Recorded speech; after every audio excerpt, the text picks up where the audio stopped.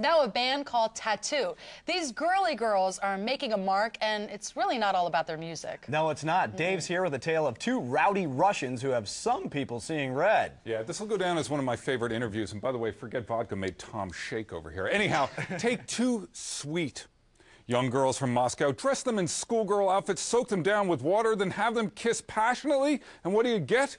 Try number one album in 10 countries and a top 20 hit in America. Welcome to the 21st century.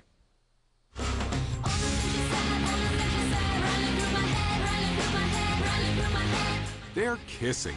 That gets attention. Everybody loves us. That's tattoo. And what's not to love? The Tonight Show booked them, but then cut away during the kiss. Jimmy Kimmel showed them uncut, but then the girls censored themselves. ABC was just like, oh, we'll show you a kiss, we'll show you a kiss. Of course, we're better than NBC. And Yes, folks, these two nutty Russians are causing quite a stir.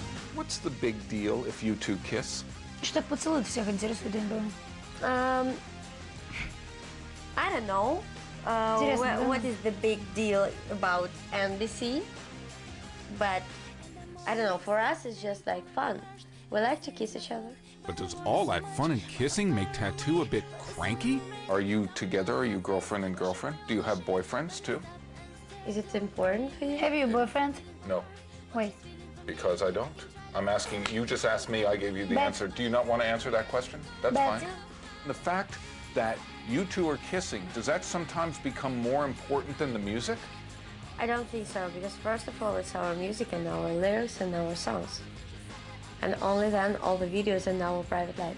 Did I mention cranky? Uh, let's stop discussing our kiss. Okay. It's our private life. That, Ты расслабься, все хорошо. okay, Расслабься. but it's just as funny when you say it's private because it's all over MTV and your album is at the It top of doesn't, the chart. it doesn't matter. It doesn't matter. On MTV, we can do whatever we want. Uh, did I mention cranky? А ты что думаешь? And what do you think?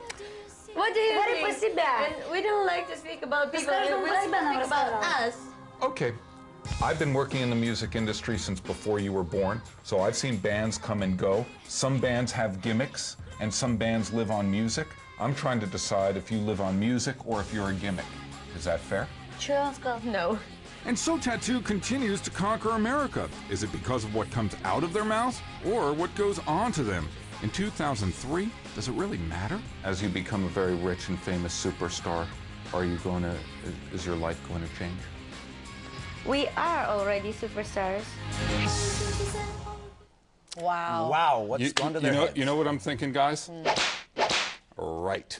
By the way, first the Russians veto the, the UN resolution, and then they send those send us those two. Clearly, the, the Cold War is not over, is it, guys? No. But by the way, before we go on, you guys, were we all clapping in here? You let him have it. Nice interview, Dave. These two little snotty kids. But by the way, you got to applaud. I mean, if that's not a rock and roll attitude, what is? Those guys were really going, and you got to applaud them for their individuality. I just wanted to applaud them with Is the backside of my. act? What? I'm Is sorry. it an act? Well, no, they're really. Uh, by the way, and anybody, God bless the Russian people. Having spent a lot of time in Russia, these are. God bless their spirit, and they were going for it. It was wonderful, and they brought it. That's the rock and roll spirit they have. I gotta ask you a question, because you asked them, are they a gimmick or are they about the music? What do you really think? Well, I mean, clearly the song's getting played on Yeah. radio. If they weren't smooching in in a in a video, and if they weren't getting so much publicity because they're going everywhere and they're all over the press kissing. So if they weren't doing that, would the song be as popular? We'll never really know, will we? Well, Yeah. Dave, one more thing though about the networks though. You, we can't see two girls kiss, but we can watch Fear Factor where people are eating horses rectum. Well, but